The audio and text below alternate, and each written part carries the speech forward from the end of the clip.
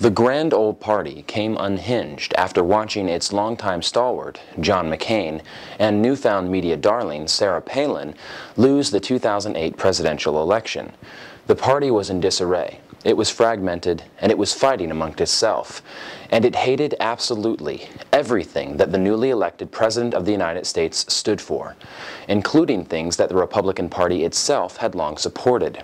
The party spent all of 2009 and 2010 blockading Democratic legislation, threatening to filibuster, and locking important bills like the Trade Act of 2009 in committee after committee. It successfully undermined the integrity of the United States and what most economists thought could have been a stimulus-driven recovery by cutting the legs out of all new proposals. Why would one party actively try to hurt the general welfare of the United States? Because it knew that American voters would overlook Republican Party antics and put the blame squarely on the majority, the Democrats. After sweeping back into power in the House of Representatives in 2011, the GOP has only increased its aggressive tactics.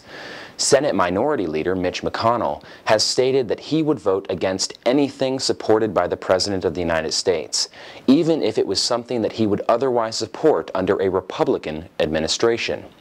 Speaker of the House John Boehner has taken to the airwaves countless times to decry President Obama's solutions for job growth, recovery, stimulus, regulation, and reform, all the while never putting forth a single agenda to move the argument forward on the Republican side.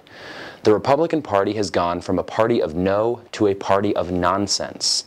It is a ridiculous sideshow meant to make conditions in this country as difficult as possible as a vehicle for victory in 2012.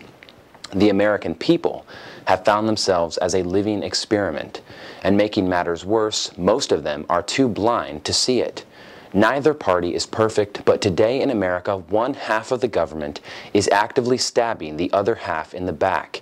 It is fighting viciously to take over a sinking ship while completely ignoring the leaks.